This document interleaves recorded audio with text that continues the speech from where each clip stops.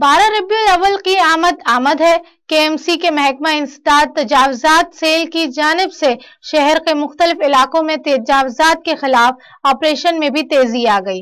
District centre میں anti encroachment team نے کاروائی کرتے ہوئے فٹ پاتھ پر پڑے ٹھیلے، پتھارے اور دیگر سامان ضبط کر لیا گیا۔ مزید تفصیلات اس رپورٹ میں۔ بارہ ربیع الاول کی آمد سے قبل اینٹی انکروچمنٹ سیل کی کراچی میں تجاوزات کے خلاف کاروائیوں میں تیزی آ گئی۔ Senior director land anti encroachment Bashir Siddiqui کی زیر نگرانی ڈسٹرکٹ سینٹرل کے علاقے نازم آباد کے مختلف مقامات پر تجاوزات کے خلاف کاروائی کی گئی۔ کاروائی کے دوران فٹ پاتھ پر رکھے ٹیے پتارے، کھانے پینے کے سٹالز ٹیبل کرسیاں اور دیگر سامان ضبط کر لیا گیا۔